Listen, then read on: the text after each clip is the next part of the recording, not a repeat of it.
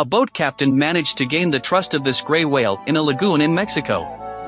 The gentle giant regularly approaches its human friend, who helps the gray whale by removing lice from its head.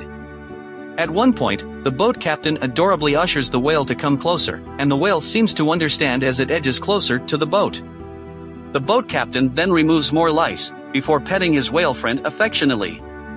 But the whale isn't done just yet.